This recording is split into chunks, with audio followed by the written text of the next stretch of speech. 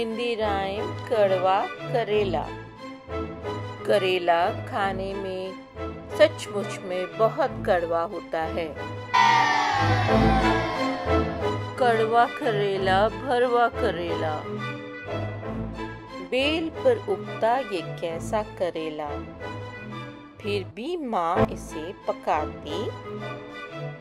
इससे होने वाले सेहत के फ़ायदे बताती।